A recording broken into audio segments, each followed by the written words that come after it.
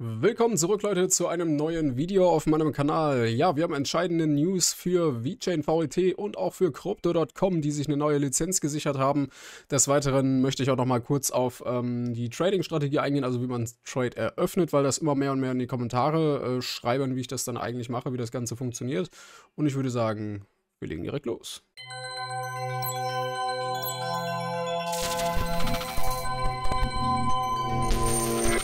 Ja, gehen wir eigentlich direkt in den Splitscreen rüber und machen das so fix wie möglich. Es ist Wochenende, wir haben alle keine Zeit. Und ja, wir sehen natürlich hier VeChain mit äh, tatsächlich knapp 30% Rakete, die sie jetzt erstmal hier hingelegt haben. Damit haben sie rein prozentual natürlich auch schon den ein oder anderen Altcoin outperformed.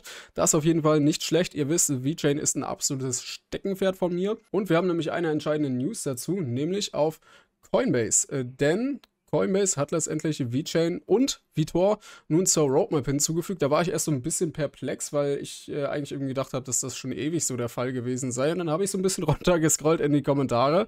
Und äh, ja, dann hat es auch da einer reingepostet, dass es letztendlich seit Juni 2020 schon so ist, dass sie zur Roadmap hier hinzugefügt haben.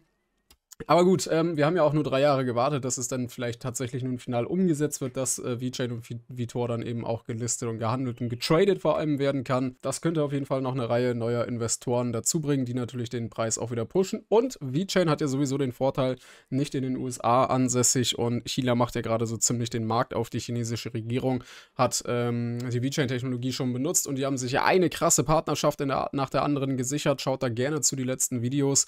Von daher denke ich schon, dass VeChain definitiv in der Lage sein wird, sein All-Time-High wieder zu schlagen. Wir haben ja auch mal eine Long-Term-Prognose drin gehabt, die kurzweilig wieder hinfällig war, weil VeChain ein neues Lower Low gemacht hat, was aber grundsätzlich für uns gar nicht so viel verändert hat. Also dementsprechend die Preislevel sind immer noch ähnlich, was ich mir für den Bullrun, für den Peak erwarten kann. Und das sind tatsächlich nach wie vor 46 bis 57 Cent für VeChain. Also da ist nach wie vor immer noch einiges drin. Und je tiefer der Markt natürlich, desto größer ist die prozentuale äh, Rendite dann natürlich auch. Und ja, Glückwunsch an all diejenigen, die jetzt hier schon mal den tiefsten Punkt getroffen haben. Das ist auf jeden Fall sehr interessant. Kommen wir zum Thema Trading. Ähm, das Ganze machen wir über Maxi, weil wir dort einfach die günstigsten Future Trading Gebühren haben, die günstigsten Spot Trading Gebühren, also sowohl per Spot kaufe ich alles über Maxi als auch dann fürs äh, Trading. Wichtig, das ist, ist einfach nur ein reines Beispiel. Nur weil ich das jetzt zeige, heißt es nicht, dass ich eine Long-Position bei VeChain eröffne. Also einfach nur, dass ihr nochmal wisst, wie es geht. Ähm, ansonsten ausführliches Trading-Tutorial habe ich ja auch schon gemacht. Ist immer da meinem, bei meinem Kanal eigentlich als Banner mit drin. Schaut euch das hier definitiv gerne nochmal an. Aber letztendlich, ja, ist es nicht wirklich schwer. Wir gehen hier in dem Fall dann auf Futures. Und dann wird natürlich hier der entsprechende ähm, ja, Markt ausgewählt. Dann können wir uns hier das natürlich anschauen, geben dort äh, das Handelspaar ein, das wir gerne äh, am liebsten hätten, also am liebsten traden würden. Als Beispiel in dem Fall jetzt VeChain. Und dann haben wir gleich die Möglichkeit, ähm, eine Position zu eröffnen. Ganz, ganz wichtig hier nochmal gesagt. Und zwar, ähm, warum das so wichtig ist, dass man es dann auch auf Maxi nachmacht. Also Ganz oben in der Videobeschreibung ist ja meine Trading-Gruppe, wo ich übrigens wo wir fast die 1000 Mitglieder geknackt haben, wo ich auch ein Gewinnspiel ähm, dann dafür auch nochmal machen würde. Warum es so wichtig ist, das dann auch auf Maxi selber zu machen? Denn andere Börsen, also andere Broker, unterschiedliche Preise. Das heißt, wenn ich beispielsweise jetzt eine Buy-Limit-Order bei VeChain setze, bei ähm, hier 0,0183 Einfach nur als Beispiel. Ähm, dann kann das sein, dass ich bei Maxi getriggert werde, bei Binance, Qcoin oder so, aber nicht. Ne? Also das variiert meistens nicht sehr stark, aber gerade auch in Kombination mit dem Nachtspread und so weiter kann es da definitiv Unterschiede bei den Brokern geben und dann ähm, ja, kann es wirklich mal sein, dass man in dem Trade nicht drin ist oder der Stop-Loss getriggert wird, obwohl man eigentlich noch gar nicht ausgestoppt wurde, einfach nur, weil man eine andere Börse genommen hat. Ne? Und ähm, Maxi hat für mich auf jeden Fall auch meistens die günstigsten Preise für, äh, für die Spotkäufe und tatsächlich, wie gesagt, auch überall die günstigsten Gebühren. Also ist daher absolute Favoritenbörse aktuell. Und wie wir das dann beispielsweise machen, ähm, das startet hier meistens automatisch mit einem 20er Hebel. Ähm, ich bin absolut kein Fan davon, sich zu überhebeln. Dementsprechend bei mir ist es dann eher, ähm, ja, im Regelfall Dreier bis Zehner Hebel, eigentlich eher so drei bis fünf. Ähm, dass ich einen Zehner Hebel benutze, ist selten. Also Fünfer ist eigentlich so mein, mein, mein Standardhebel. Das ist noch ein überschaubares Risiko und ähm, Genau. Da überhebelt man sich nicht. Das geht dann immer relativ gut. Ähm, muss man dann für den Short natürlich auch umstellen, wenn man es äh, so machen möchte. Aber jeder kann natürlich, wie er möchte. Äh, ich halte da niemanden auf.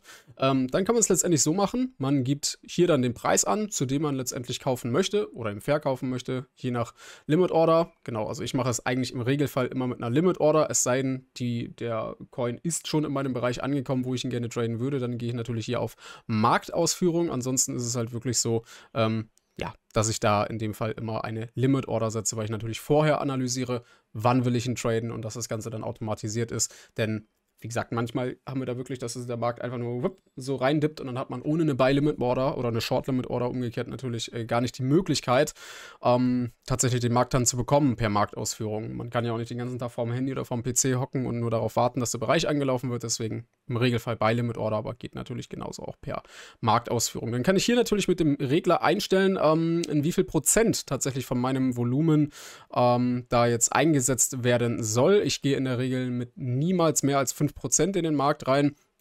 Ähm, so kann man das natürlich dann machen, wie man möchte. Achso, ähm, Thema isoliert, wie gesagt, äh, ausführlich. Schaut euch bitte wirklich nochmal das Trading-Tutorial hier an. Da habe ich auch die Begrifflichkeiten hier isoliert und cross äh, etc. nochmal ähm, beschrieben, erklärt. Ich nutze im Regelfall immer einen isolierten Hebel und ähm, dann kann man natürlich so den Trade hier per Long oder per Short eröffnen. Dazu dann natürlich noch äh, das entweder manuell machen, indem man es direkt eröffnet, oder hier auch seinen vernünftigen Take Profit und seinen Stop-Loss dann in dem Sinne auch einsetzt. Und sobald der Trade eröffnet worden ist, hat man auch ähm, die Möglichkeit, mehrere Take Profits dann in dem Fall einzustellen, dass man schon Teilgewinne zieht, äh, wenn 10%, 20% Profit sind und das Ganze dann aber noch weitergeht, dass man so ein bisschen den Swing Trade quasi auch noch daraus machen kann, das ein bisschen herauszögern kann und auf jeden Fall Teilprofite immer mitnimmt. Genau, so funktioniert natürlich das Ganze. Wie gesagt, war jetzt nur ein absolutes Beispiel. Ich habe jetzt keine Long-Position bei äh, VChain eröffnet. Ihr wisst, ich trade immer antizyklisch. Ich gehe niemals mitten in den Trend rein, auch wenn es ja hier naheliegend ist, dass wir jetzt erstmal natürlich vielleicht noch ein bisschen weiter steigen. Ähm, ich warte dann natürlich auf der Korrektur, auf eine, auf, auf eine Korrektur Korrektur. Ähm, Updates dazu gibt es natürlich immer in der Trading-Gruppe. Sowohl der Maxi-Link als auch die, meine Trading-Gruppe, die kostenlos sind, oben in der Videobeschreibung. Lass uns auf jeden Fall jetzt die 1000 Mitglieder voll machen. Das wäre ein schöner, schöner Start zu. Ist denn jetzt hier los? Das wäre ein schöner Startschuss zu meinem Geburtstag. Ich habe nämlich Sonntag Geburtstag, werde frische 29 und ähm, dann kann ich auf jeden Fall auch was zurückgeben, dass wir die 1000 Mitglieder ähm, erreicht haben in der Gruppe. Gut, nun aber genug geschnackt zum Trading und VeChain. Wir haben nämlich noch eine andere News, nämlich zu Crypto.com.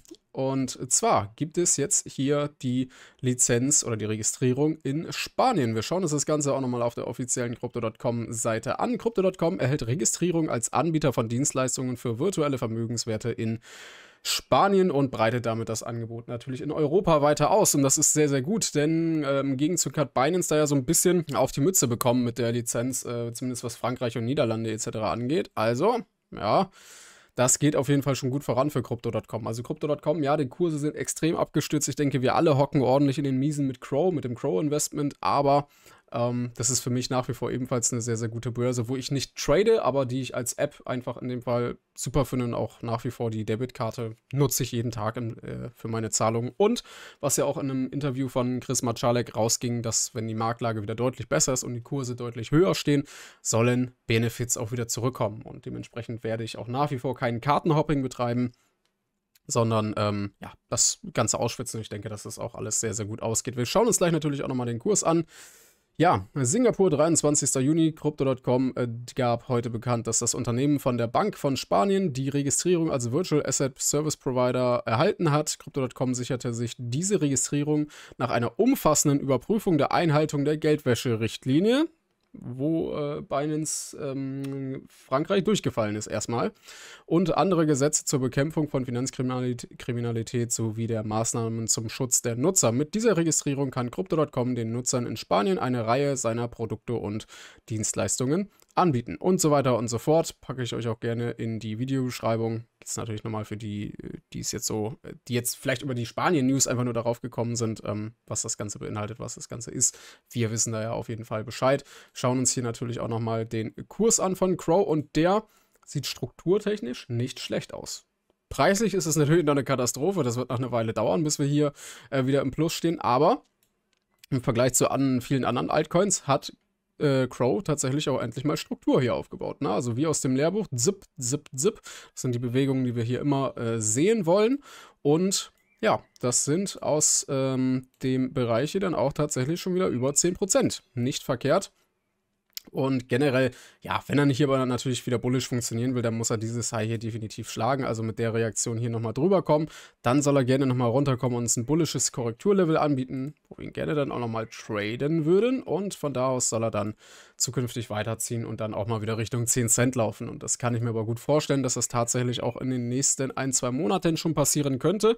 Denn wir haben es natürlich gesehen, die Big Player entern langsam den Markt oder haben zumindest mal äh, ihre Lizenzen etc. dafür beantragt äh, in Richtung Spot-ETF etc. auch von den größten Vermögensverwaltern, äh, die wir überhaupt im Markt haben. Also von daher ja, Bitcoin-Dominanz steigt aktuell, wird noch ein bisschen so weitergehen, aber es wird auch zeitnah dann ordentlich in die Altcoins umverteilt. Da bin ich mir sehr, sehr sicher. Das war bisher immer so, auch wenn die Vergangenheit natürlich keine zukünftigen Resultate garantieren. Ich bin da aber definitiv der Meinung, dass es so kommen wird und bin natürlich auch auf eure Meinung gespannt. Was sagt ihr zum Crow-Kurs und zum VeChain-Kurs? Wie viel ist eurer Meinung da noch drin im Bullrun? Peak vielleicht in Richtung 2025. Bin ich sehr gespannt drauf und würde, würde mal sagen, ihr lasst ein Like und ein Abo da. Dann sehen wir uns im nächsten Video.